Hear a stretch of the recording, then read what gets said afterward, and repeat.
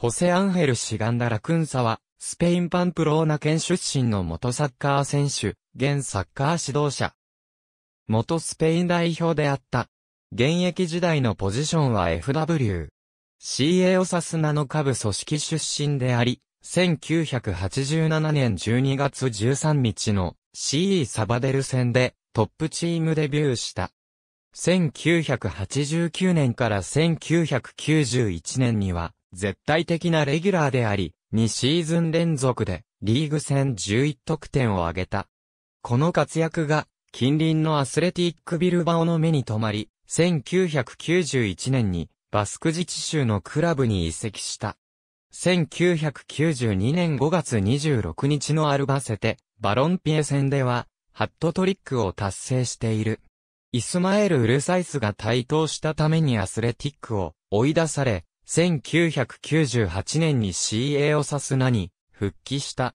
セグンダディビシオンで戦った1999から2000シーズンは昇格に貢献し、2001年までプレーして現役引退を発表した。CA オサスナとアスレティックビルバオに在籍した12シーズンでプリメーラディビシオン通算381試合に出場し111得点を挙げた。さらにセグンダディビシオンで19得点を挙げ、UEFA カップで9得点、コパデルレイで6得点を挙げている。1991年4月17日、カセレスで行われたルーマニアとの親善試合で4分間だけ出場してスペイン代表デビューを果たした。スペイン代表での出場機会はルーマニア戦の1試合のみである。CA オサスナの下部組織のいくつかのチームで指導者経験を積み、2005から06シーズンには CA オサスナ B を指揮した。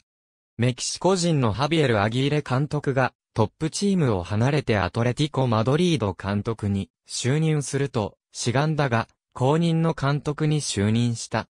UEFA チャンピオンズリーグでは予選3回戦での敗退が決まっており、2006から07シーズンのリーグ戦でも開幕直後につまずいたが、徐々に状況を改善し、UEFA カップでは、クラブ史上最高位のベスト4となった。リーグ戦は11位で終えた。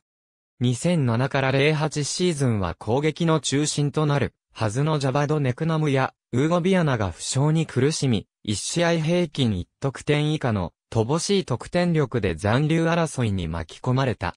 2008から09シーズンは、開幕からの6試合で1勝もできず、2008年10月13日、シガンダは解任されて、ホセアントニオ・カマーチョが公認監督に就任した。